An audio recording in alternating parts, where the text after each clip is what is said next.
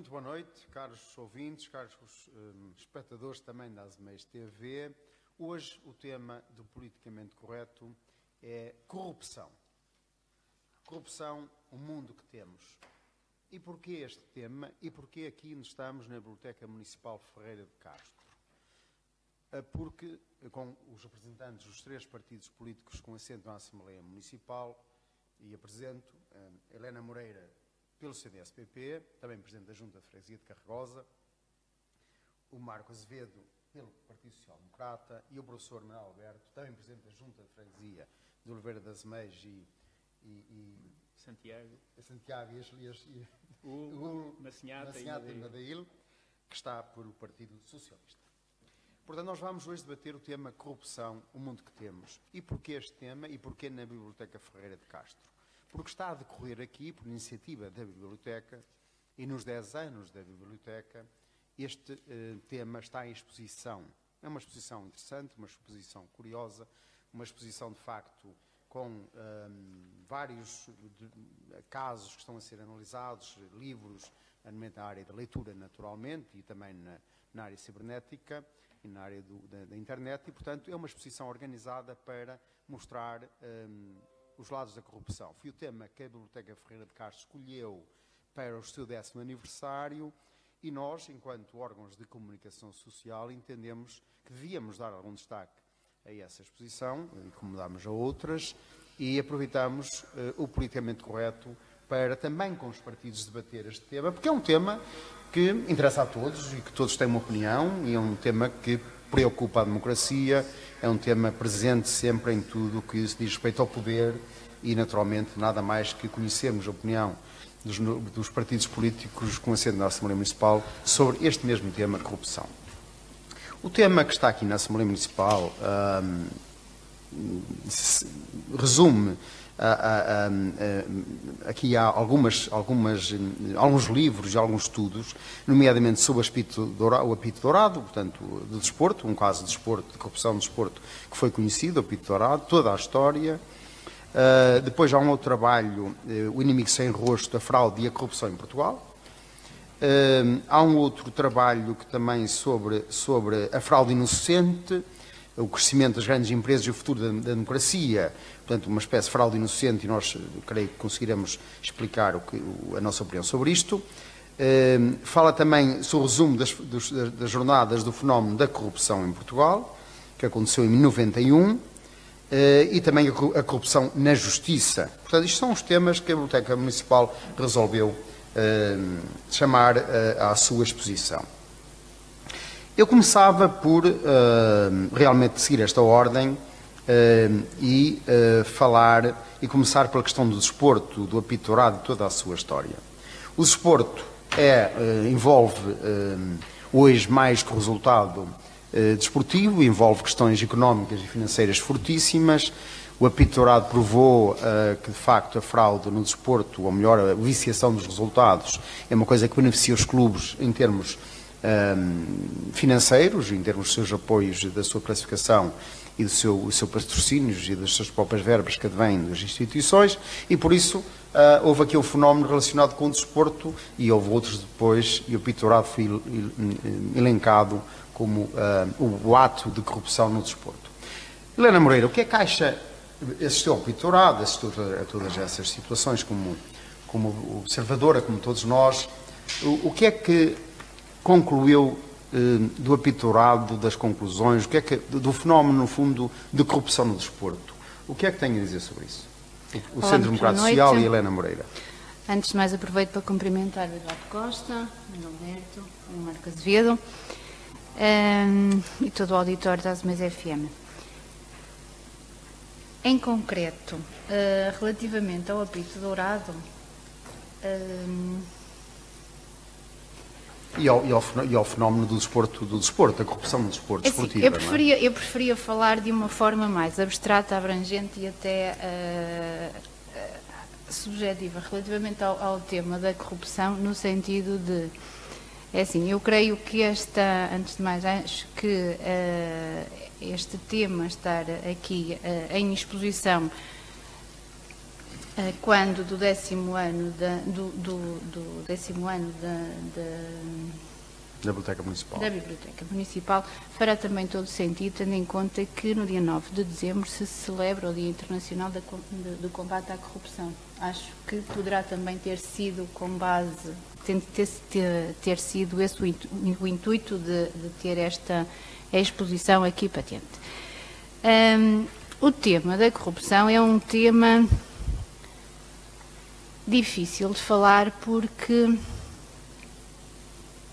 parece ou pode estar em tudo ou não estar em nada. Não devia estar, uh, mas uh, é algo que está muito próximo de nós. Não, é, não, não, serão só os casos mediáticos que nos devem fazer uh, trazer à colação, ou chamar à colação, o tema da corrupção. Infelizmente, a corrupção é, é, deriva de algo do material, deriva do, do, do, amor ao dinheiro, da ganância, da ambição do, do, poder.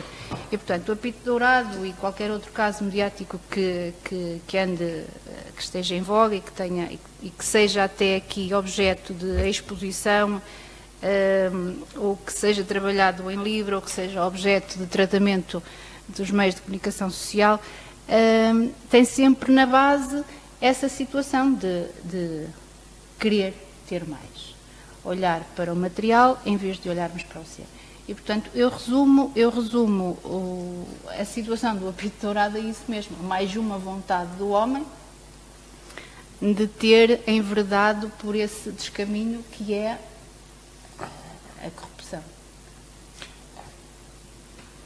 Pegando nesta ideia de, de Helena Moreira, sobre falarmos genericamente da corrupção e depois do bitorado, eu passava uh, ao, Marco, ao Marco Azevedo, do Partido Social Democrata, que pudesse, então, dentro, dentro desta mesma lógica que, que aceitamos, poder uh, dar a sua ideia do Partido Social Democrata e a sua sobre a questão da corrupção e, do, do, e também do bitorado, no caso, do caso deste primeiro tema que a Biblioteca aqui nos põe, como um único exemplo de setores que são tipicamente eh, objeto ou, ou estão tipicamente na, na, no foco da corrupção, naturalmente.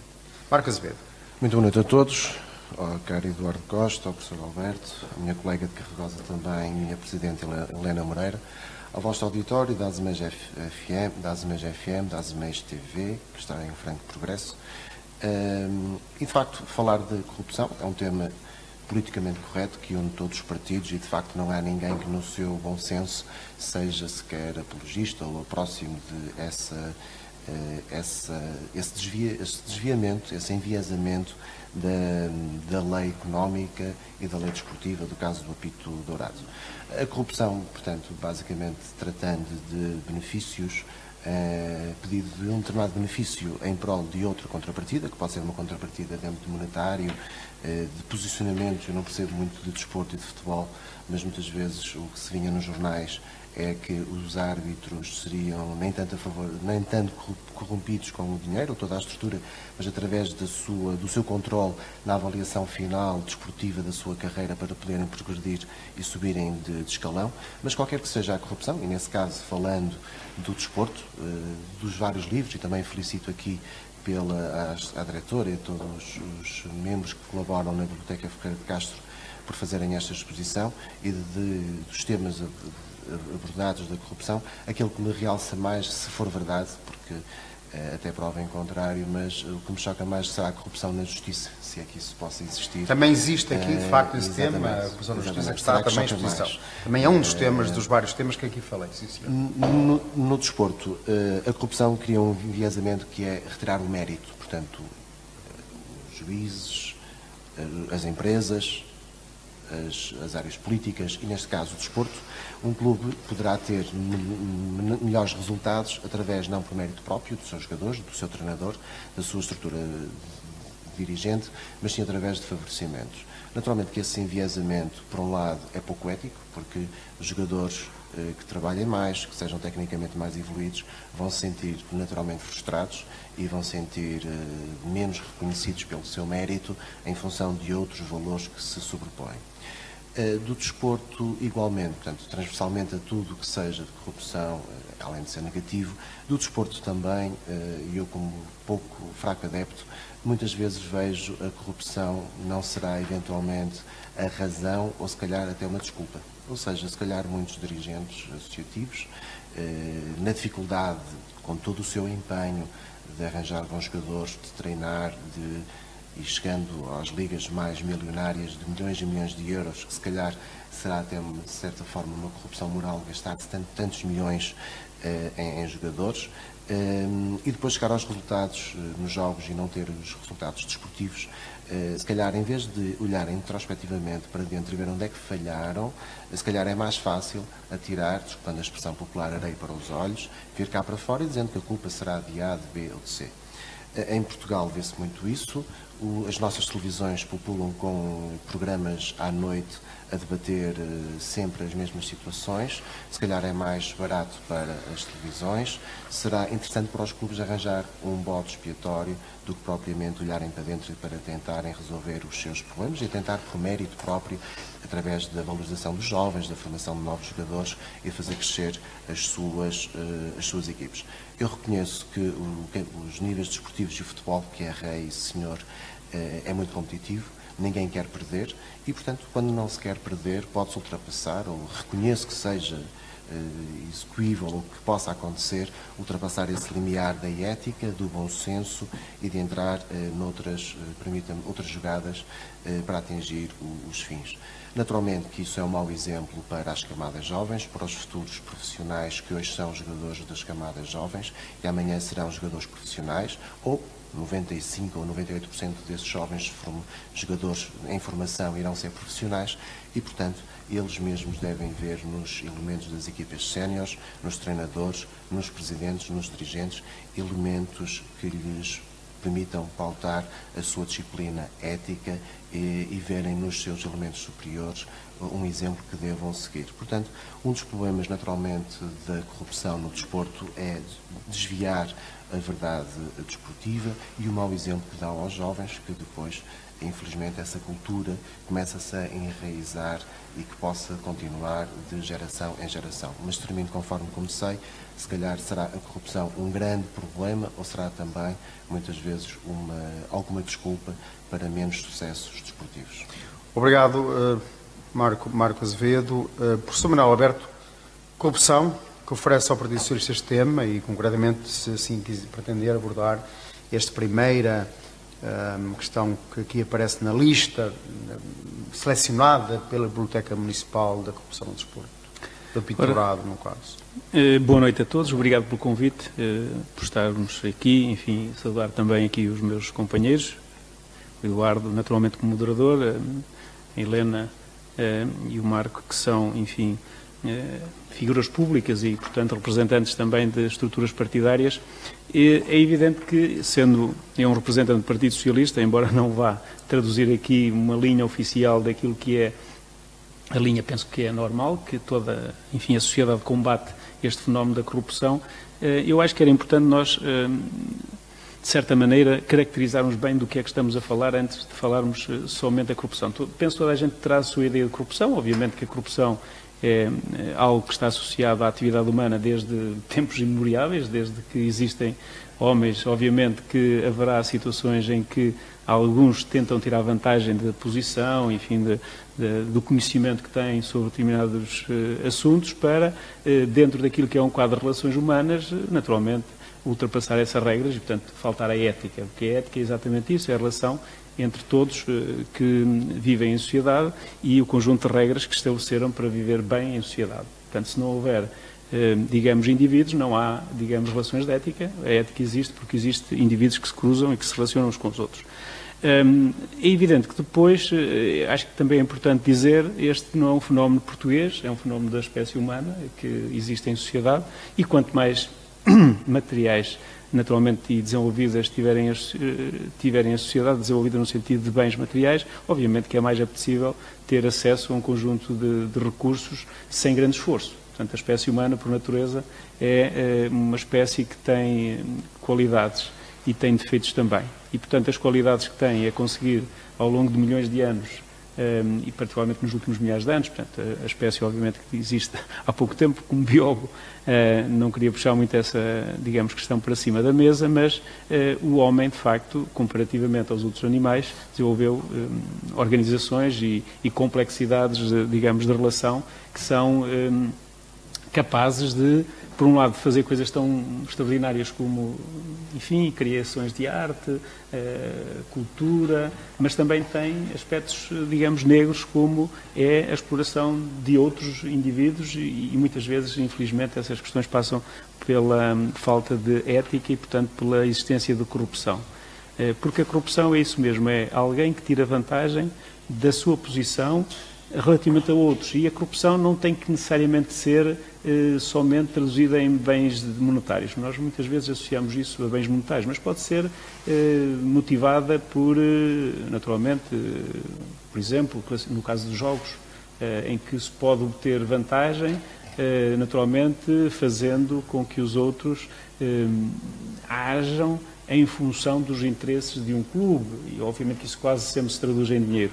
Eh, toda a gente tem bem presente há pouco tempo. É quase impossível falar de, de, corrupção sem falar de alguns casos que já estão, que foram, não, não quero puxar muito essa questão para cima da mesa, é um facto, foi isso que combinámos também, mas acho que não é fácil nós não associarmos, por exemplo, a questão da corrupção no desporto, a questão do apito dourado que foi julgado e que foi, enfim, é, toda a gente acompanhou de certa maneira com algumas transcrições, inclusive de conversas que eram tidas como, eh, digamos, entre indivíduos que, que representantes de clubes que, que tinham eh, alguns acertos entre eles e, e eventualmente eh, árbitros, eh, foram julgados. Enfim, é difícil muitas vezes provar-se a corrupção, é um dos aspectos mais complexos é da prova. Naturalmente, na justiça eh, não é fácil fazer-se prova da corrupção.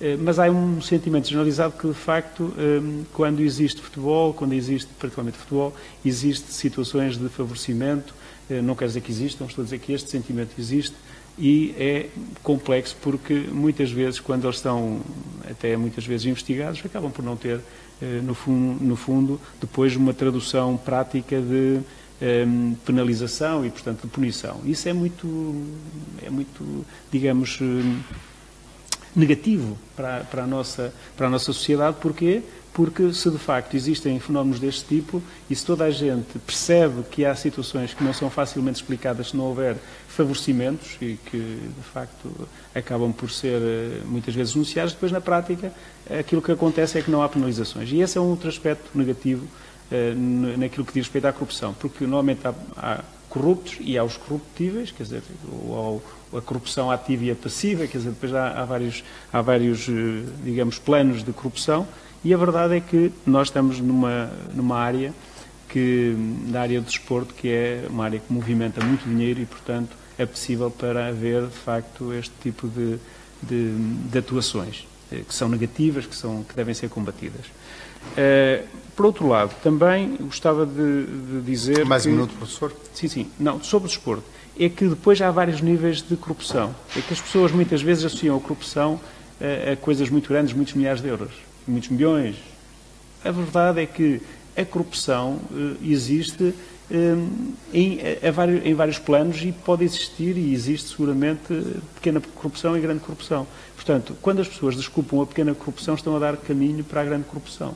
E é que eu acho que a sociedade muitas vezes diz, deixa lá, isso foi uma coisa pequena, portanto, tenta, tentativa de desculpabilizar. Ora bem, quando nós caminhamos nesse, nesse plano, acabamos por validar um conjunto de atuações, validar socialmente, naturalmente, validar um conjunto de atuações que são negativas para todos nós. E por isso eu acho que, hum, quer seja no desporto, quer seja noutras atividades que envolvam a, espécie humana e, portanto, o, ser humano, acho que nós devemos combater de uma forma clara esse tipo de atuações. Quando nós combinamos, eu e o Eduardo, um, um negócio, e não há nenhuma, nenhuma, nenhuma lei, não estamos a falar de lei, estamos a falar de combinar entre nós que vamos atuar de determinada maneira, não é bom que depois um de nós subverta esse, essa regra e diga assim, não, eu disse aquilo, mas eu estava a pensar noutra coisa, disse aquilo para enganar. Isso é terrível, isso ninguém gosta. E a corrupção passa por esse nível, que é alguém que engana outro tirando vantagem financeira disso. E por isso eu, eu julgo que essa é a parte importante, que é nós educarmos a sociedade para a exigência máxima no sentido de não tolerar este tipo de comportamentos, seja a nível desportivo, seja a outros níveis. Não tolerar os pequenos para não chegarmos aos Exatamente. grandes, Eu iria aqui agora pegar uma segunda ronda e tenho aqui dois temas da exposição eh, que um fala da fraude inocente, eh, no fundo da economia, o crescimento da economia eh, e o futuro da democracia das grandes empresas, percebendo-se que a fraude inocente aqui as grandes empresas se se instalarem nos países, acabam por inverter o sentido da democracia, da democracia em termos de democracia económica, naturalmente, da proliferação de empresas, de, das pessoas, etc., controlando um bocado, e também aqui no tema corrupção puro, em termos de direito penal, eh, há aqui também um inimigo sem rosto, a fraude e corrupção em Portugal. Eu, isto leva-me toda uma questão uh, que queria colocar aos, aos presentes, que era corrupto ou corruptor? Qual deles um, qual deles é o mais culpado da corrupção? No caso do desporto, por exemplo, que aqui temos, é mais culpado o árbitro uh, ou o dirigente que corrompe o resultado? Uh, no caso das empresas, é mais corruptor o político ou o decisor que aceita a corrupção ou o empresário que, para fazer os negócios uh, em, em, relação à concorrência, o corrompe? Doutora, eu queria pedir aqui à Helena Moreira que pudesse falar de que ideia que acha, quem é mais culpado na corrupção? O corruptor ou o corrupto? Eu acho que nós não podemos aqui dissociar ou desculpar um ou outro, nem culpar um mais do que o outro.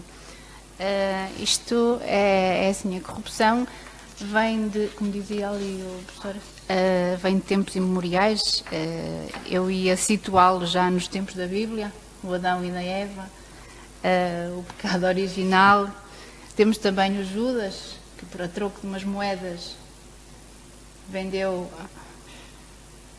uh, o mestre. E temos também o Pilatos, não é? Que lavou as mãos. Uh, eu creio que nestas três, nestes três episódios, e, e assim, independentemente da confissão de cada um, uh, estou a levar isto só ao plano histórico e uh, a resumir, no fundo, a humanidade. Uh, o problema da corrupção é um problema é o problema da tentação, da sedução. E, portanto, porque nós olhamos, como eu há bocadinho dizia, não olhamos para aquilo que cada um vale pelo que é, mas pelo que tem. Uh, e, portanto, obviamente que se nós formos uh, a analisar a corrupção a este nível, caímos em algo que é tudo é possível, isto é muito permeável. E, portanto, para o, o, a, o jurista, uh, nós temos que olhar para o critério legal de corrupção, conforme uh, a lei a determina. Obviamente que uh, eu sei o que é que é juridicamente válido, mas também sei o que é eticamente válido. eu não queria, achei que não devia falar nisto, mas acho que é um, é um exemplo tão básico que uh, se calhar resume tudo. Eu não sou melhor nem pior do que ninguém, eu sou um ser humano, todos nós falhamos. Um, eu fiz uma única vez, professor, eu acho que já está prescrito, uma tentativa de copiar num teste de geografia. Uh, eu ainda hoje não tenho grande, grande à vontade com a rosa, os pontos cardeais, a rosa dos ventos. Então coloquei aqui na mão. E eu lembro-me que estava um calor infernal e eu transpirava da mão e olhava e olhava. Bem, tive a ajuda da senhora professora para me ver a mão, não é? Uh, eu não. compensou. Não, não foi. É, é assim. Eu uh, tinha 12 anos. Eu não respondi àquela pergunta, independentemente de saber de não saber, não respondi. Quando fui entregar o teste, uh, expliquei que não percebia nada dos pontos cardeais. Imensa desculpa à professora. E serviu-me de exemplo. Agora, é assim. Uh, isto da. A corrupção, a corrupção inocente. Uh, é assim, tudo pode ser levado, se nós levarmos ao extremo, tudo pode ser considerado A corrupção, eu até precisava aqui de um jeito, pagava-lhe ali um cafezinho, essas, essas pequenas simpatias que eu hoje, uh, e tendo até em conta o lugar que ocupo, que não é nenhum lugar especial, mas que assusta-me que as pessoas possam pensar, por eu estar a tomar um café com determinada pessoa, que já, já o possa estar a favorecer. Portanto, é muito complicado uh, separar o corrupto do corruptor. Uh, o que nós temos que fazer é, em consciência, uh, atuar com isenção e segundo determinados parâmetros. E, portanto, é assim, é a justiça, é, é, é, espada, é cega, tem que ser. E, no fundo, tem que ser mesmo assim. Não é por acaso, ou será, se calhar, por aí, que a Dinamarca é um dos países onde há menos corrupção. A própria troca de, de, ou entrega de presentes é punida. Portanto, é uma forma de. As pessoas sabem, até ali podem ir. Depois já é punido. Portanto, é, é, o excesso de regulamentação, se calhar, poderá ser. É, será que teremos de ir por aí? Se calhar teremos de ir por aí para aprendermos, porque assim, Portugal é. Não é só Portugal, mas em Portugal a nossa corrupção, se calhar agora está um bocadinho mais atrevida, mas hum, a nossa corrupção é uma, é uma, corrupção básica, uma corrupção de, de costumes, de, hospitalidade, simpatias, de jeitos, de pronto, facilidades, chicos pretesas. E não deixa de o ser. Não deixa de o ser porque há pessoas que tiram vantagens em detrimento de outros, uh, as regras do jogo são viciadas, uh, e eu aqui não estou, do jogo não estou a falar no jogo no desporto, portanto, para mim é no desporto, é na comunicação social, é na política, é, é na economia, uh, Portanto, isto depois acaba por, Abrange todos os setores de, de, por uh, uh, uh, abranger tudo e é assim, eu não consigo dizer aqui é mais grave do que ali.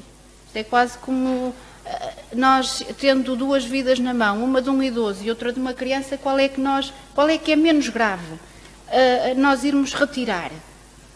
Não há, é assim, nós devemos atuar em conformidade com determinados parâmetros, ética educação uh, respeito pelo próximo. Isto é basilar. Conseguir é outro patamar. Obrigado, uh, Helena Moreira. Uh, Marco Azevedo, uh, corruptor ou corrupto? Muito.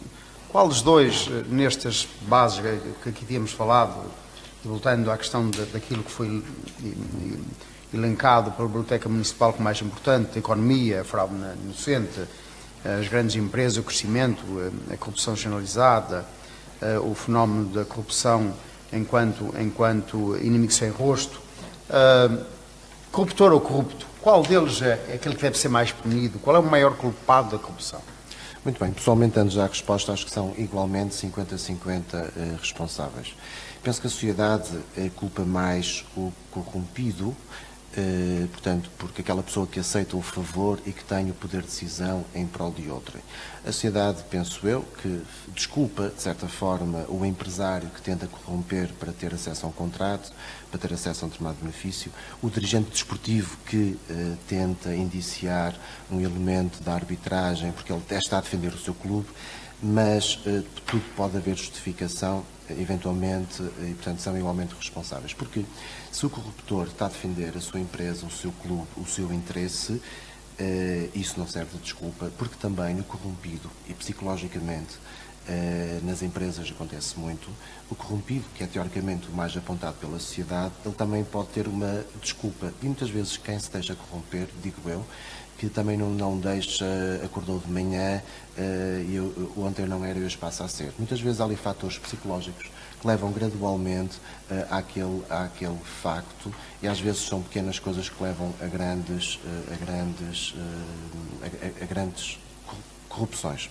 E, portanto, muitas vezes o corrompido começa por o cidadão que até, isto focalizando-se mais, vão focalizar uh, nas empresas, para deixar o espectro político e público, e muitas vezes uh, os desvios de dinheiro nas empresas. Psicologicamente, quem faz fraudes e desvios de dinheiro, o perfil psicológico é, normalmente é sempre o mesmo.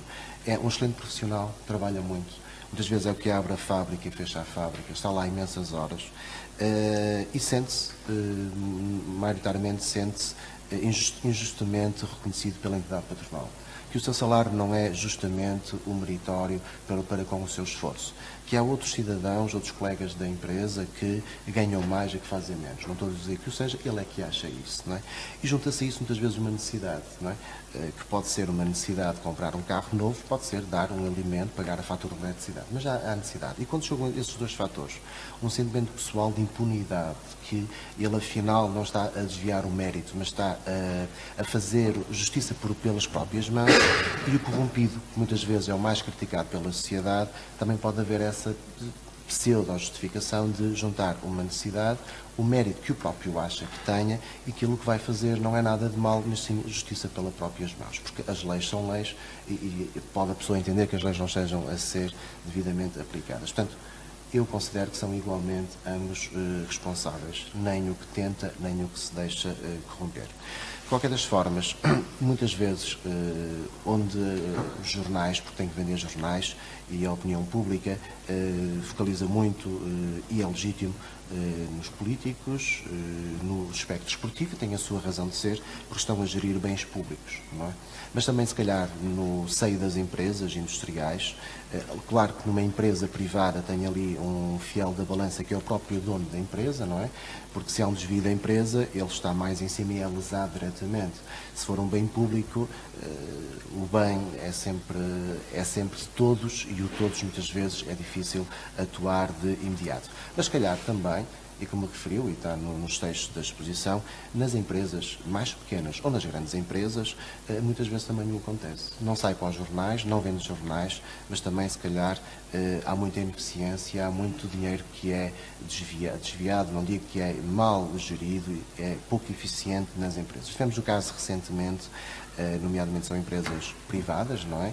Não sei se já estará transitado em julgado ou sequer se vai ao julgamento, mas parece-me razoavelmente óbvio que um certo favorecimento entre o Grupo Espírito Santo e a PT e os recursos que a PT tinha e o administrador da PT e onde é que colocava esses recursos, ou seja, num certo favorecimento entre as partes, eu coloco-te como administrador e tu vais colocar os teus os fundos da empresa eh, onde eu preciso, respectivamente. Qual foi o resultado disso? A PT colapsou. Uh, muitos milhões desapareceram. Milhares de postos de trabalho não desapareceram porque, entretanto, têm vindo a ser sucessivamente comprado, mas, eventualmente, de Altice, vamos ver que a queda bolsista tem sido grande, vamos ver o que é que se espera, mas atos que são privados, da gestão privada, podem ter graves prejuízos em termos de milhões de postos de trabalho e de perda de, de riqueza. Mas, portanto, também, eh, infelizmente, nas empresas, mas fora dos jornais e das televisões, também, e se calhar, eventualmente, junta-se a oportunidade, eventualmente à necessidade e também à falta de ética. Mas, eh, eventualmente, onde possa haver muitos atos eh, desses que ficam no silêncio, dentro da empresa, os gestores de compras, de aprovisionamento, se calhar também é uma grande fatia onde possa haver atos menos lícitos disso.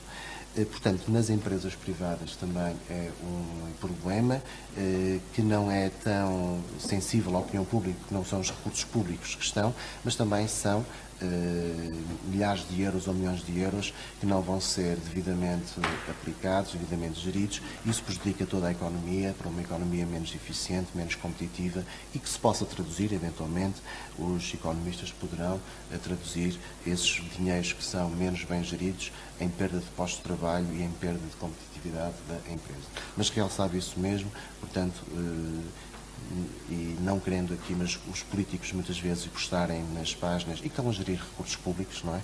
Eh, muitas vezes são apontados, mas eh, infelizmente são, eh, há muito mais do que nessa área, ou dito por, dito por outra forma, a percentagem de quem corrompe ou quem é corrompido acho que é muito escassa, é uma percentagem de que um dígito ou menos, portanto, será bastante escasso em qualquer atividade profissional.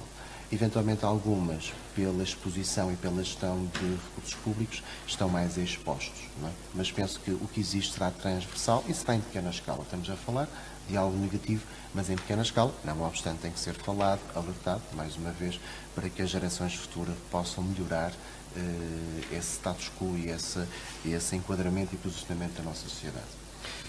Obrigado, Marcos Azevedo. Professor Manuel Alberto, corruptor, corrupto, quem é que você condenava mais? Bom, eu, eu, acho que, como em tudo, nós temos que perceber os contextos dos atos. Ou seja, os atos eh, por si, ou per si, como se costuma dizer, não são em si, ehm, por vezes, ehm, claramente, ehm, não, não traduzem com clareza quem é que tem mais responsabilidade se não forem analisados no contexto. O que é que eu quero dizer com isto? Por vezes é, digamos, o corruptor, obviamente, pretende sempre obter uma, uma vantagem e aquele que é corrompido também tem uma vantagem. Só que as vantagens dependem dos contextos. É muito simples. Se nós tivermos uma pessoa que passa fome, uma pessoa que não tem condições de vida básicas, muito elementares, eh, e que de facto se deixa corromper, é diferente de uma pessoa que se deixa corromper, que vive, tem uma vida normal, mas deixa-se corromper.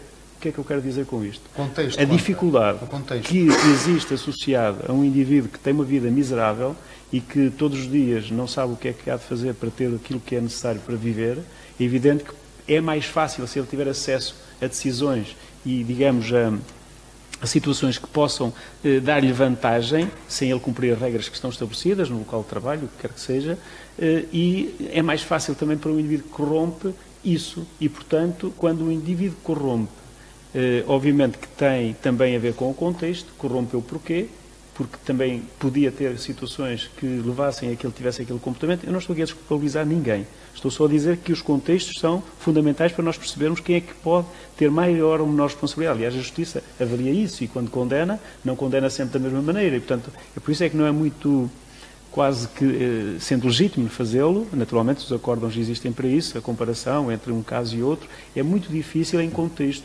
eh, fazer uma avaliação, dizer que isto foi um ato que foi condenado com oito anos de uma determinada pena e o outro também foi com oito anos, mas, no entanto, tinham, eh, digamos, diferenças na sua gênese e na sua evolução. Portanto, é preciso perceber o contexto. Portanto, essa resposta não é fácil de dar e eu não gostaria de estar a dar a resposta em função de dizer assim, o corruptor é mais responsável ou o corrompido é mais responsável ou menos.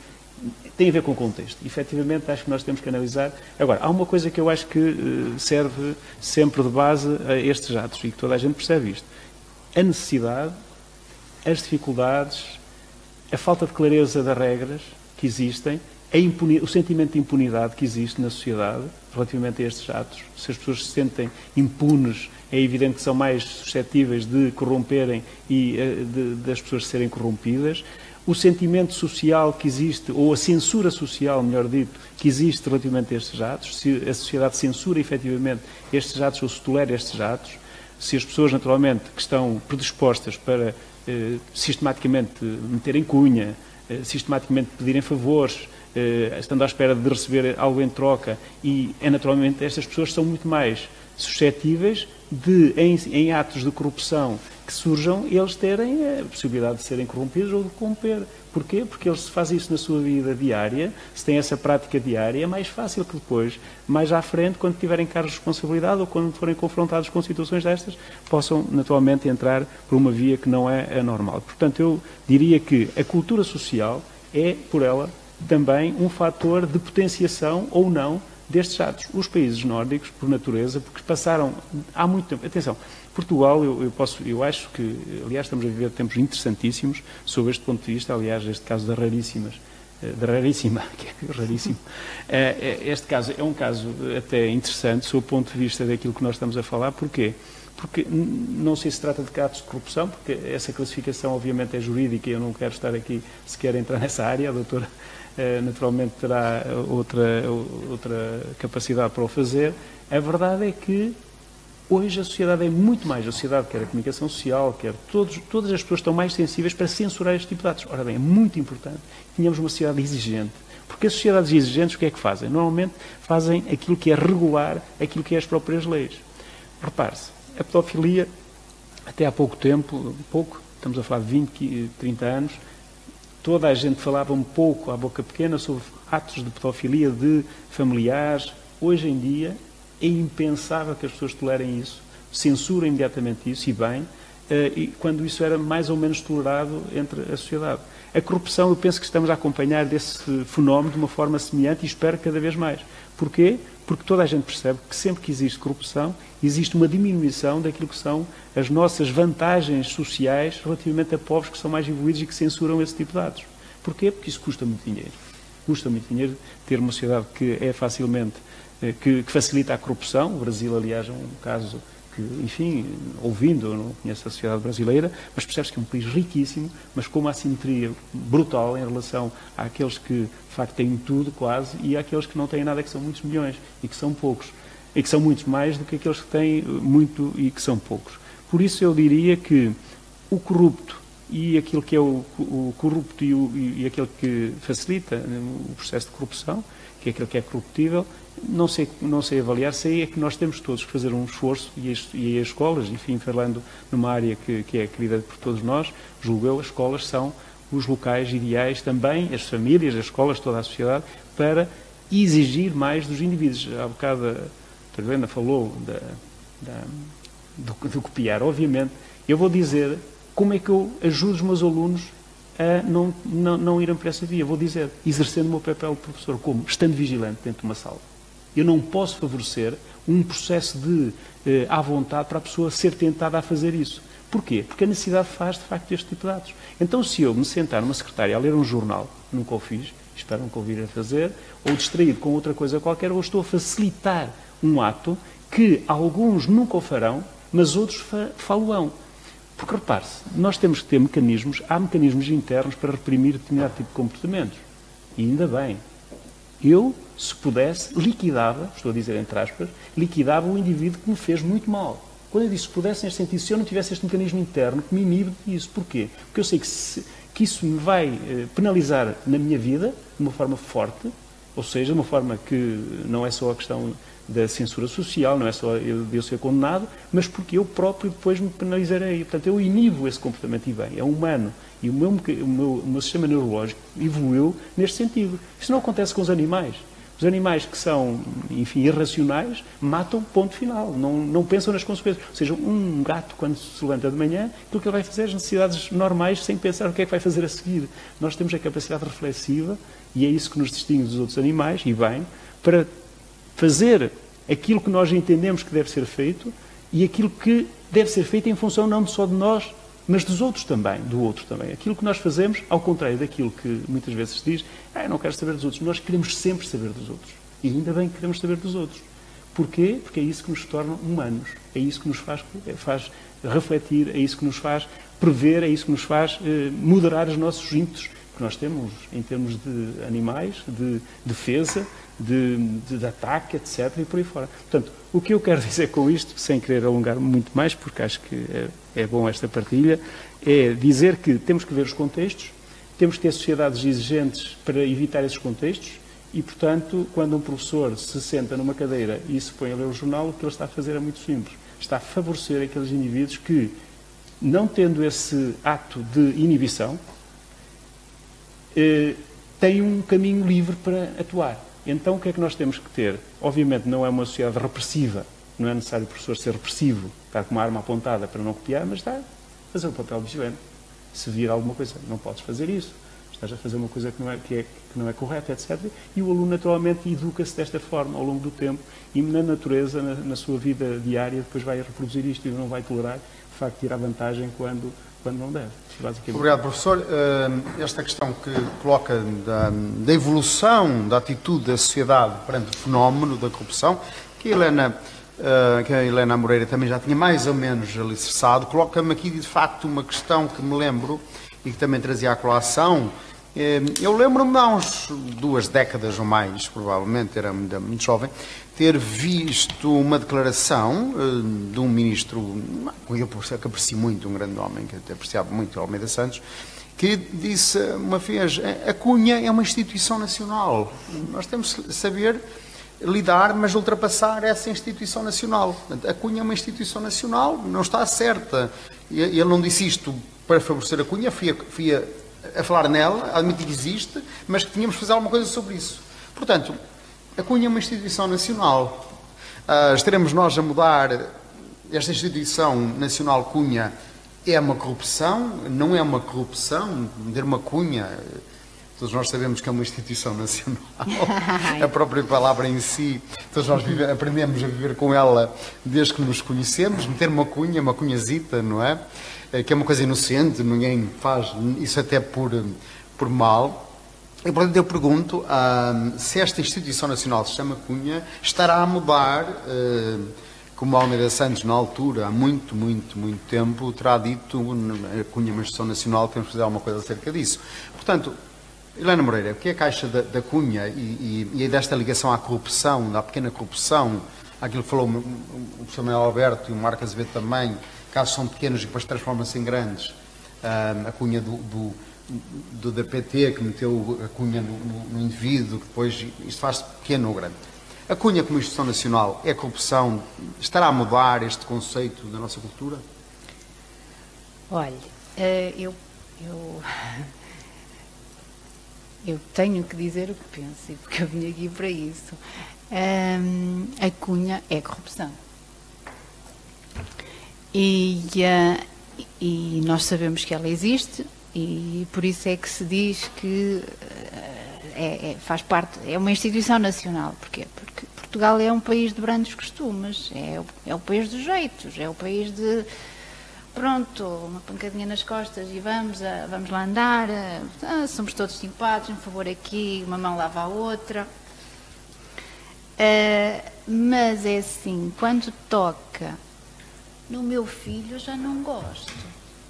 Quando afeta o meu amigo, eu já não gosto. Já é muito chato. E, portanto, hum, felizmente, eu acho que uh, está, está, está a mudar a medo. Porque, assim, o professor Manuel Alberto falou no caso das raríssimas, Uh, independentemente da qualificação jurídica que esteja ali por detrás dessa situação, uh, foi com medo que, que a Ana Leal apresentou, tem apresentado a, a, situação, foi com medo que algumas pessoas falaram e não se expuseram. Uh, é com medo que muitas vezes algumas situações delicadas até são trazidas a público, mas a, a pessoa não mostra o rosto, tem a voz distorcida. Portanto, uh, esta cunha, nós dizemos que é, é, é parte da instituição uh, nacional, uh, é corrupção e em muitas situações é, é grave e, e é assim, em termos jurídicos às vezes, às vezes, e a maior parte das vezes, e isso nós temos visto uh, na nossa, vemos na nossa jurisprudência, não se consegue uh, punir porque o crime é um crime específico, carece de um dolo específico e, e a prova não é conseguida. Mas isso. Agora, um, nós temos de combater isso. Agora eu pergunto-me, eh, de facto, estamos a tentar e estamos a investir e a começar pela base, pela base eh, na escola, no ensino, os professores, toda a conjuntura uh, associada e uh, alunos implicam também as famílias, portanto, é, é, é, é o ponto certo. Mas eu pergunto, uh, como é que se reage a, este, a esta ideia generalizada que é transversal à nossa sociedade, de que nós vamos à internet e sacamos um filme, sacamos uma música, sacamos um, uma tese. Uh, isto não é crime. Mas como é que nós vamos, como é que nós vamos incutir numa criança determinados valores quando ele não tem ou não, não é consciencializado para uh, a falta, a falta que é estar a fazer isso. Portanto, nós temos, estamos a dar, por um lado, mas a permitir pelo outro. Como é que nós conseguimos que uma criança perceba e desenvolva determinados padrões de conduta? Portanto, é uma questão de educação também. Não é uma questão de educação, é uma questão de que uh, nós, seres humanos, uh, peço desculpa pelo que vou dizer, porque eu também, eu também sou assim, não é? Nós tentamos sempre fugir, perdoe-me a expressão, com o rabo à seringa. Nós vamos por ali e até dá jeito, mas nós podemos ir por ali, porque também, percebe? E portanto, é assim, uh, isto tem, tem que ser formação de base e nós temos que dizer, pode-se fazer isto, mas não se deve. Não se deve. É duro. E o não se dever fazer é muito complicado de interiorizar e de cumprir. E, portanto, é por aí custa. Obrigado, Helena Moreira. Marca Azevedo, a Cunha, nossa cunhazita, aquilo que o povo aceita vulgarmente, acho que as pessoas nem se apercebem, a maior parte das pessoas, quando pede alguém para falar à senhora Presidente da Junta de Freguesia de Carragosa ou Presidente da Junta de Oliveira das Meias sobre qualquer coisinha, nem, nem se apercebe que está a meter uma cunhazita. Se calhar está a cometer um ato de corrupção, nem se apercebe. Porque a cunha é uma coisa tão natural, tão natural, meter um favorzito, assim uma cunhazita, não é? Que a doutora Helena Moreira deixou claro, a cunha e a cunhazinha é um ato de corrupção. Marcos Azevedo. Muito bem. É, está de tal forma eh, institucionalizado e culturalmente na nossa, na nossa população, da mesma forma que está o desvio fiscal, não é? Portanto, ah, passar a fatura, quanto é que isso custa? Isso custa 10 mil euros mais IVA. Epá, se não passar a fatura, já não pago os 2.300 euros. Estamos novamente numa situação de duas entidades que beneficiam ambos com um determinado ato, um ato desviante, em prejuízo do interesse público. Portanto, dessa forma, a cunha que eu passo a chamar de outra forma corrupção será, no meu entendimento, quando alguém, isso entrando na contratação de cidadãos, portanto, de ativos profissionais, quando alguém eh, solicita a contratação de A ou de B, fazendo um favorecimento económico e financeiro, naturalmente eu chamo isso de corrupção. Concordando com a lógica da cunha, eh, será não haver nenhum favorecimento eh, económico e financeiro, eh, considero legítimo cada um defender os seus. Se há uma determinada contratação, se há um determinado procedimento, eh, cada um tenta defender eh, da forma que possa as vantagens e o mérito de cada um dos candidatos. E se calhar fala-se muito e existe pouco. Na função pública, primeiro, a função pública já não está a contratar muito. Segundo, tem regras muito específicas, procedimentos concursais que são bastante apertados. Uh, onde é que subsiste a contratação? Nas empresas privadas. Nas empresas, pequenas e médias empresas, tem lá, permita-me o patrão que só entra quem ele quer e quem seja competente para a própria empresa. Ou as empresas grandes que uh, possa haver algum, algum favorecimento. Mas eu penso que a Cunha, penso que, não, não digo que seja um mito urbano, mas que não, que, que não exista tanto. Porquê? Vendo do outro lado, da mesma forma como, corrompido, o corruptor, uh, vamos nos centrar na pessoa que contrata eu já fiz inúmeras contratações eh, para entidades eh, e, de facto, é extremamente sensível e muito difícil estar a contratar alguém com base, toda a gente procura o mérito, porque ninguém vai contratar ninguém se não for o melhor, correto?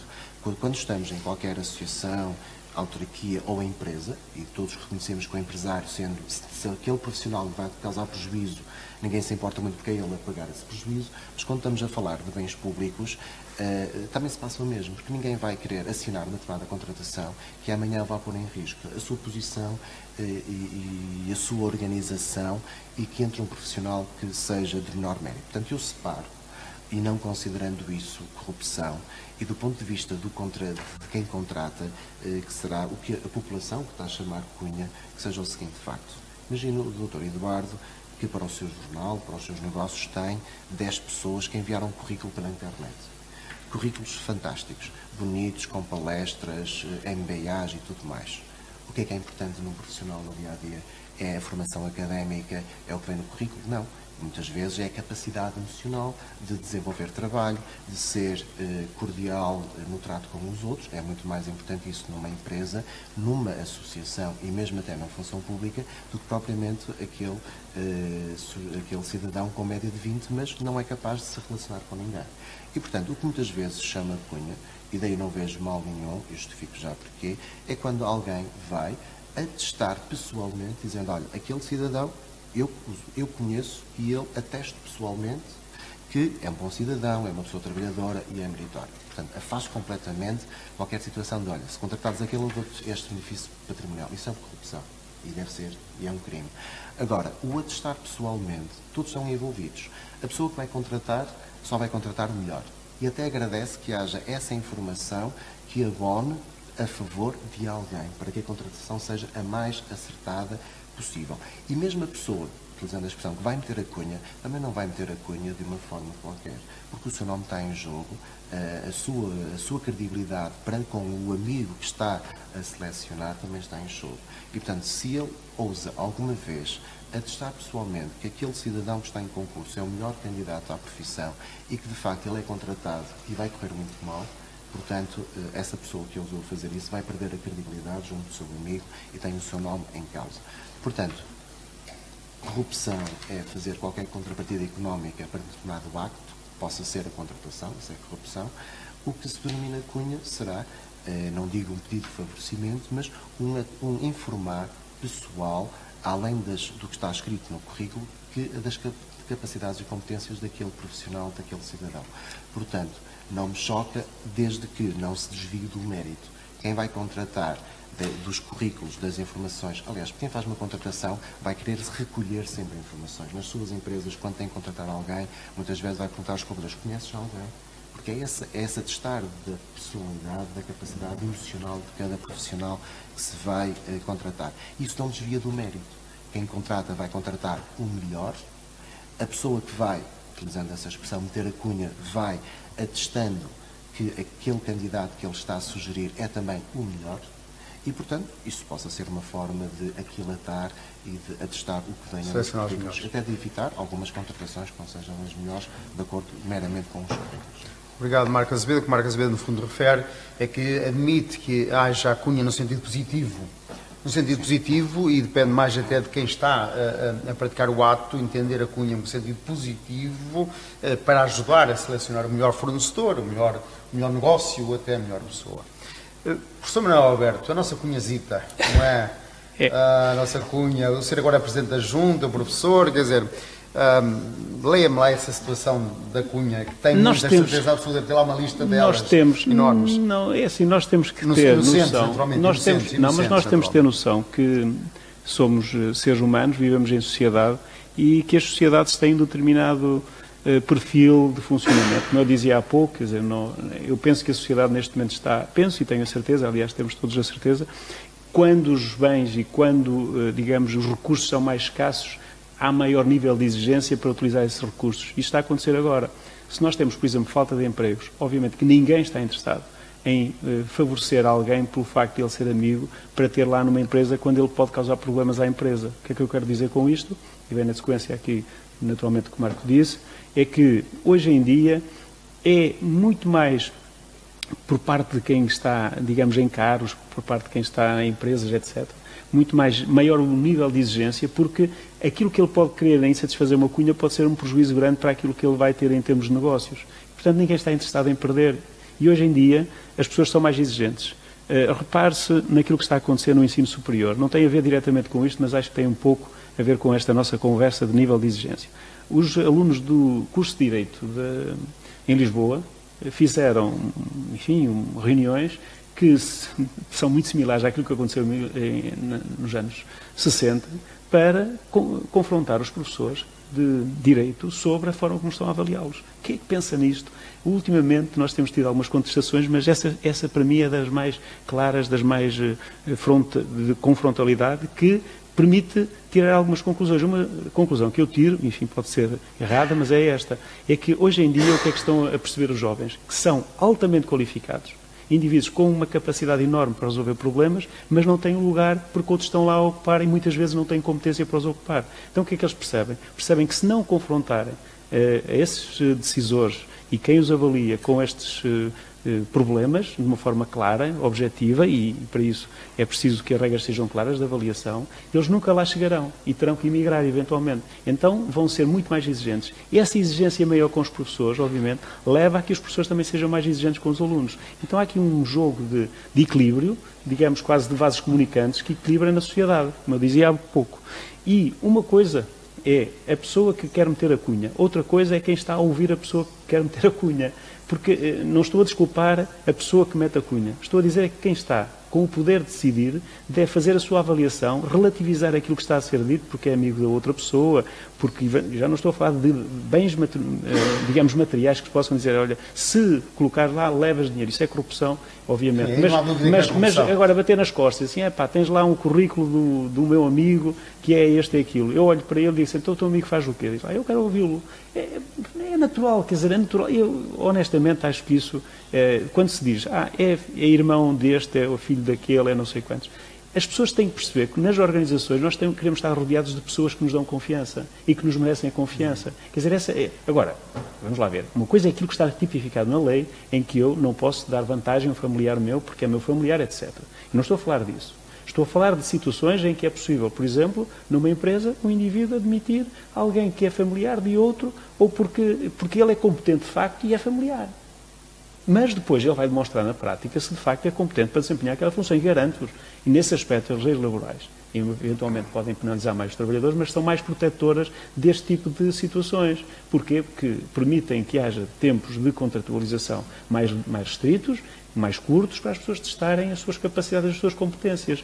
Portanto, eu hoje acho que o mérito e as sociedades que têm maiores níveis de exigência, obviamente que já perceberam isso há muito tempo, senão colapsam desaparecem e são penalizadas por outras que são mais competitivas, percebem que hoje a competição está em valorizar aquilo que tem valor, efetivamente, valor real, o valor, eh, digamos, eh, não facial, digamos, mas o real.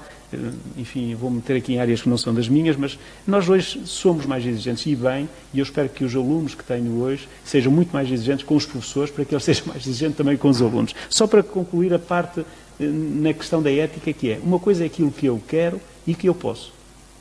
Eu quero fazer isto e posso fazer isto, mas eu não devo fazer isso. Há bocado a doutora falou desta matéria que é muito fundamental. É isso que distingue. Um animal quer comer e vê ali uma, eh, digamos, um determinado uh, alimento e come o alimento. Quer e pode. Chega lá o alimento e come. Um indivíduo vê uma maçã num supermercado, quer, pode, mas não deve. Porquê? Tem que o pagar, se o quiser comer. Portanto, a diferença entre nós e os animais é essa. É que nós temos o sentimento de dever. E o, sentimento, e o que é que é o dever? O dever é cumprir regras de acordo com aquilo que está estabelecido na lei ou nas, nas práticas do dia a dia. E, de facto, quanto mais, forem, eh, mais claras forem as regras, mais curtas forem as regras, melhor. Porquê é que nós temos leis tão intrincadas? Eu não vou... Porque, obviamente, isso favorece a corrupção. Isso favorece todo o jogo de decisão em que o indivíduo pega num processo e ele passa para o patamar seguinte, depois para o outro, para o outro, para o outro. Tem uma cadeia tão grande que isso favorece o indivíduo. Diz, é, calma aí, isso não vai, vai passar para ali já. E, portanto, o tipo que faz é facilitar o facilitador. Nós não falamos ainda de facilitadores, que são os indivíduos que, dentro de processos muito complexos, isso acontece então nas áreas dos negócios, uma coisa fabulosa, com cursos intrincados, etc. E o facilitador, o que é que faz? É o tal político, o indivíduo com o nome, Sim, pá, eu conheço o fulano, deixa estar. Isso já não é cunha. Isso não é cunha, isso é mesmo facilitador. É um indivíduo que diz assim, este processo nem precisa de analisar, isto é para entregar a fulano ou a Beltrano. E isto custa dinheiro. Obviamente isso é corrupção. Portanto, é, as questões que eu acho que são importantes na cunha é esta, é distinguir de facto aquilo que é a conversa de café e a conversa do telefonema que diz assim, pá, vê lá, aquele meu amigo precisa, ficou desempregado, etc. Não traz prejuízo, Ex não? Exatamente, e diz assim, pá, vê lá isso, e eu acho que isso não traz prejuízo nenhum, e o outro indivíduo é que tem que avaliar e eu como Presidente de Junta, quando alguém vem ter comigo e diz oh, veja lá isto assim, eu digo assim, olha, eu quero lá ver isso, quero mesmo lá, vamos lá ver então. E vamos ver, e assim, olha, mas olha que isso prejudica ali o seu vizinho, já percebeu isso? Pois é, mas, não, não há mas. Percebe? É, é aqui, aqui a questão é a barreira do outro lado, quem está a decidir tem que colocar forma clara. E então ele percebe que esse indivíduo nunca mais vem ter comigo a colocar uma situação semelhante. Agora, se eu for, tudo bem, é pá, olha, pronto, ok, é para si, pá, conheço, eh, o indivíduo até, enfim, é, é, é, é, politicamente pode ser mais da minha área, não pode ser. É essa a questão do dever. E aí o dever sobrepõe-se ao querer e ao poder. Portanto, acha o professor que de facto a Cunha está mais no decisor do que na pessoa que tenta enfim, de uma maneira um, dentro da, da instituição Tem que ter essa proteção. Tem que ter essa proteção. proteção. Um, eu iria, numa última ronda, e para finalizarmos, um, aqui sugerir que pudéssemos dar uma ideia uh, do, sobre a exposição que está a decorrer e da razão do motivo. do que é que pensam os partidos com assento na Assembleia Municipal desta iniciativa da Biblioteca Municipal de falar da corrupção não no sentido que já dissemos, mas no sentido de dizermos, será que esta iniciativa, iniciativa, por exemplo, da Biblioteca Municipal, de elencar o tema corrupção para uma exposição no seu décimo aniversário, isso é um significado de que alguma coisa está a mudar na abertura, na, no pudor ou não pudor de falar no tema, que deixe, está a deixar de ser tabu um, e começa a ser um tema que se fala de forma natural e um primeiro passo ou um passo para que se possa, a sociedade possa combater a corrupção. Doutora Helena Moreira. Esta, esta exposição, na minha ótica, uh, vem na sequência do Dia Internacional uh, da, da, da, da, corrupção. Da corrupção uh, do 9 ataque, de, 9 de 9 dezembro. De dezembro é? Portanto, o ataque à corrupção. É um sinal de alerta, é um sinal de que as pessoas estão, pensam no problema e pensam no problema que isto é um problema que não deve ser, não deve ser, uh, que não é o caminho, portanto.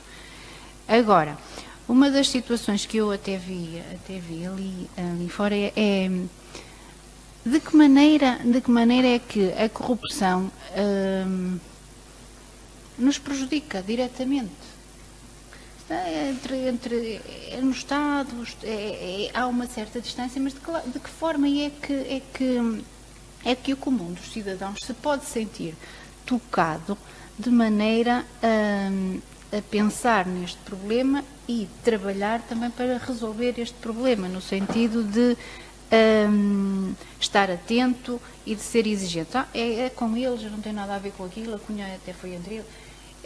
É assim, um, o problema da corrupção acaba por, é como uma doença, acaba por afetar todos os órgãos se não for curado. Portanto, é o consumidor, é, é, é em termos uh, de, de, rendimento e de riqueza uh, que se possa produzir ou não, uh, os impostos que estão a sair só de um lado e a não ir a não, a não, a não serem eh, buscados ou cobrados uh, em quem a outros que não estão que estão a produzir mas que uh, conseguem desviar os seus rendimentos uh, tem a ver também com questões ecológicas portanto quem prevarica temos aquela situação até do, dos veículos automóveis que eram com, com, com aquelas falsificações adulterações e portanto no fundo todo o meio ambiente e nós, a humanidade, eh, é também prejudicada. Portanto, há necessidade de se uh, trazer o problema da corrupção para uh, o centro da sociedade, como um problema que deve Portanto, ser... Debater e expor, debater. acha que é positivo? É assim, eu li qualquer coisa, não sei onde, em que a corrupção é mais grave do que a SIDA. A corrupção é mais grave do que o cancro. Hum, isto choca. Hum, mas há bocadinho eh, eu, estava a ouvir falar tanto o Marco como o professor e, e eu estava a pensar na cunha, eh, mas para, por exemplo, temos aqui o caso do Salvador, que recebeu um coração. Uh, olha, opa, até sou amigo do Salvador, vê lá se percebem. Nós, quando colocamos as coisas neste patamar, não é só do emprego, porque isto agora, os critérios, é assim, hum, a corrupção tem, eu, eu costumo dizer que é, a corrupção tem como limite a, a criatividade da humanidade. Portanto, não há limite. Uh, há pessoas que estão sempre à frente e, portanto, nem a lei, nem os governos uh, conseguem combater em tempo, uh, portanto, com aquilo que surge. Nós vamos, vamos, vamos deparando com as situações em função do que vai surgindo. feliz ou infelizmente, o homem é, é inteligente e a capacidade de criar, de inventar e de, de, e de arranjar mil e uma situações, para, sejam para, para, o bem, seja para o mal, é, é, isso aí pronto, não há limite. E, portanto, é, e a criatividade associada à ganância leva a isto, que este é que é o grande problema da corrupção.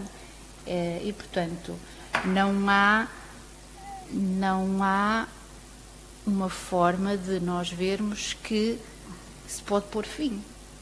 Enquanto que para, para a SIDA nós se calhar já temos alguma medicação, para o cancro também vamos evoluindo e vamos arranjando medicação, medicação uh, formas de, de, tratamento. Para a corrupção, uh, uma pessoa que, uh, e aqui eu até considero que há, há pessoas que, que é, é uma doença, é, pode, poderá ser até... Uma doença da sociedade. Mas, é assim, a sociedade é feita por homens e, portanto, nós não podemos arrumar o problema para a sociedade. Isto é um problema cultural, isto é um problema, de sociedade. Pessoas. Há pessoas que têm a capacidade de... E por isso é que também há a evolução das, das, das sociedades. Portanto, uh, tudo depende uh, de como as pessoas vão evoluindo. Uh, agora, este tema, e há bocadinho o professor Alberto também tocou numa, numa, num, num, problema que, que, que, eu por acaso também tinha pensado, que é uh, ainda bem que está na berra, que está na moda falar na corrupção. Uh, porque é a forma de nós combatermos. É falar, é, é, é, é mostrar às pessoas que o crime não compensa, que o sentimento de impunidade já não é como era antes. E por outra via, devíamos também, de outra forma, também devíamos fazer o contrário, que é começar a premiar quem ataca a corrupção. Porque é a forma das pessoas perderem o medo e dizerem eu não vou fazer porque eu até posso ser premiado por não fazer. Porque se for igual fazer ou não fazer, a pessoa na sua inocência e na sua humildade vai ponderar por ela aquilo que lhe dá mais vantagem. E isso sim faz parte da nossa humanidade. Não, não, não, nós não podemos dizer uh, que ai, não devemos. Não, não devemos, mas tanto faz. E portanto, como hoje a pedofilia é, é um assunto, já esteve mais, é, já esteve apagado, teve o seu momento alto e tem os seus reflexos agora na, na, na forma como o, o, tema é tratado. Eu creio que a corrupção é, está a chegar aí. Portanto, é um alerta e ainda há muito a fazer mas uh, as pessoas estão, estão a, ser, a ser preparadas, estão atentas e, portanto, uh, acho que o caminho é mesmo escolas, bibliotecas, televisões, comunicação social. Portanto, vamos fazer alguma coisa por expor, melhorar. Marco Azevedo acha que, de facto, esta iniciativa da biblioteca e este falar na corrupção é um sintoma de que, não sendo possível acabar com o fenómeno, nunca acabará, mas é um sintoma de que já se pode falar nele, de que é um, é um princípio para que se diminua, pelo menos, uh, o volume e os prejuízos que ela acarreta? Sim, sim, sem dúvida. De facto, é um início para se começar a falar, porque ainda faltará muito para estar na moda, infelizmente, penso eu, que é um assunto ainda que vai sendo, sendo tabu e que muitas vezes é aceitável, tal e qual como se, alguma fuga fiscal também se vai aceitando alguma ou a cunha negativa ou a corrupção. E, de facto, compete aos recursos públicos, quer sejam juntas de freguesia, câmaras municipais, governo, IPSS e associações, neste caso, como também eh, sendo uma entidade pública, a biblioteca ou de recursos públicos, cabe ao Estado a formação, a educação, apontar novos caminhos. E, portanto, felicito a Biblioteca e os seus dirigentes pela escolha do tema. O tema não é, como assim tem que ser, não é escolhido com fins comerciais ou de audiências ou de ter muito público, senão teriam ido para uma exposição do Cristiano Ronaldo, com todo o mérito e respeito, ou do clubes de futebol, eh, mas isso temos as televisões que têm as audiências, têm os patrocínios e vão atrás disso, e portanto compete ao Estado educar, alargar novos caminhos e andar à frente, tentando captar a atenção e tentando o que é muito importante, se os cidadãos mais eh, envelhecidos ou mais adultos já têm opiniões formadas, mas compete aos jovens a sua informação, a formação deles, a sensibilização. É com muito agrado que, para fazendo paralelismo, eu vejo uh, uma criança com 10 anos a sentir-se ofendida quando vê um adulto a não fazer a triagem, a separação dos resíduos em casa para ele, porque eles são tão formatados na escola e essa geração, quando tiver 30, 40 anos, irá fazer isso naturalmente. Portanto, é um caminho necessário difícil a começar, eh, doloroso, eh, mas que tem que ser feito e compete, e compete aos, às entidades públicas. E, e, tem que ser feito porquê?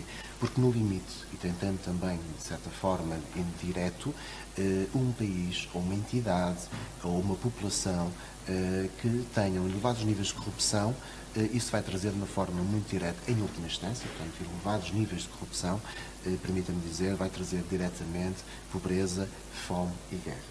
E temos casos, tantos casos, infelizmente, Angola, eh, Brasil, eh, Venezuela e outros tantos. Portanto, pela dimensão última ser tão grave, não, felizmente Portugal está muito longe desses níveis de, de, corrupção e se calhar teremos um nível de corrupção de primeiro mundo e, e, e até bastante baixo, mas mesmo assim temos caminho a percorrer porque, para chegarmos aos níveis dos padrões dos países da Europa do Norte e coincidentemente são países uh, muito mais sensíveis a essas matérias, como também digo, e à fuga fiscal também eles não concordam, mas o certo é que são países mais evoluídos, melhores níveis de rendimento, menor nível de empregabilidade e maior qualidade de vida. Portanto, são princípios basilares que devem ser incluídos na formação dos jovens e estamos aqui no meio do ambiente escolar e, portanto, compete, e mais uma vez felicito às entidades, eh, porque compete ao Estado abrir e rasgar esses novos caminhos. Obrigado, Marco Azevedo. Professor Manuel Alberto, esta iniciativa da biblioteca vai na ordem, no sentido daquela que falou há um pouco, de que a sociedade começa a falar mais nisso, começa a não ter receio de falar. Isto é o princípio de um caminho para reduzir esse fenómeno? É, eu acho que esta iniciativa, eu não peço minha, desculpa pela minha ignorância, mas eu não, não, não tinha visto a, eh, a, promoção desta, desta iniciativa. Vou vê-la depois com alguma atenção, não hoje, porque já não tenho muito tempo, mas vou ver se consigo passar antes do final da, da exposição. É durante fundamental. O mês de dezembro, é durante o mês de dezembro e, portanto, terei a oportunidade de passar por cá.